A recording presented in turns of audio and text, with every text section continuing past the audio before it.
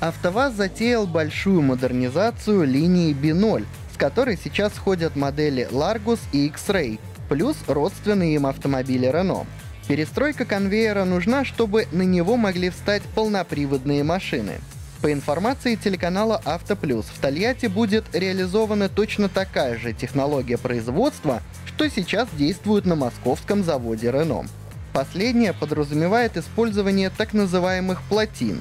Это передвижные площадки, на которые монтируются элементы шасси, двигатель, коробка передач и радиатор, после чего агрегатную базу подгоняют под кузов.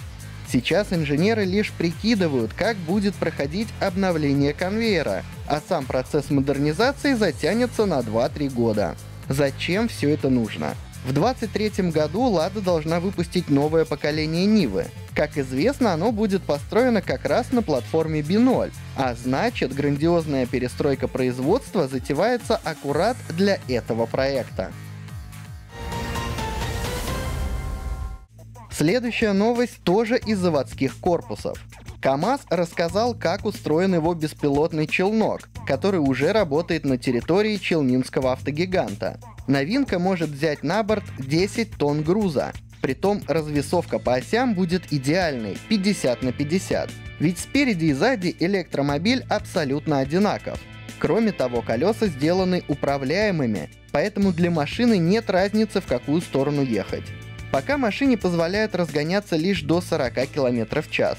Работает без кабинек так. Оператор отправляет автомобилю задание, а тот уже отправляется по заданному маршруту. Запас хода челнока на уровне 50 километров, которых хватает примерно на пару рабочих смен. При зарядке трехфазным током восполнить запасы энергии получается за 5 часов, то есть за одну ночную смену. Следующий грузовик без кабины КАМАЗ покажет примерно через полгода. Это будет не грузовая платформа, как сейчас, а небольшой карьерный самосвал.